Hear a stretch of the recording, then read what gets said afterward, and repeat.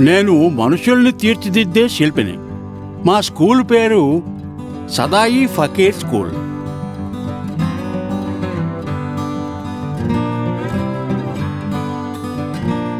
రెండు వేల నాలుగులో రిటైర్ అయ్యాక నేను జీవితంలో ఏం చేయాలి ఏం పని ఉంది నాకు అనుకునేవాణ్ణి. అప్పుడు అడవిలో దాదాపు ఇరవై నాలుగు ఇరవై ఐదు కిలోమీటర్ల దూరంలో ఉన్న గ్రామాల నుంచి కొందరు పిల్లలు నా దగ్గరకు వచ్చారు. వాళ్ళు అప్పుడే వాళ్ళ సెకండరీ పరీక్ష పాస్ అయ్యారు. వాళ్ళు నన్ను చదువు చెప్పమని కోరారు. ఉత్సాహం ఉన్న విద్యార్థులు దొరికినందుకు నాకు చాలా సంతోషం కలిగింది. కానీ వాళ్ళకి చదువు చెప్పడానికి చోటు దొరకలేదు. నేను స్కూల్ హెడ్ మాస్టర్ని ఒక గది ఇవ్వమని అడిగాను. పిల్లలకి ఉచితంగా చదువు చెప్పడానికి. ఎందుకో తెలియదు కానీ అతను ఒప్పుకోలేదు. అయితే అది నన్ను ఆపలేదు.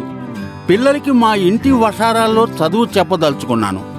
ఒక చిరునవ్వుతో నేను పని ప్రారంభించాను. ఇనుముని బంగారంలోకి మలచడం మొదలుపెట్టాను. మెల్లమెల్లగా విద్యార్థుల సంఖ్య పెరిగి ఇప్పుడు మూడు వందల యాభై కన్నా ఎక్కువ మంది విద్యార్థులున్నారు.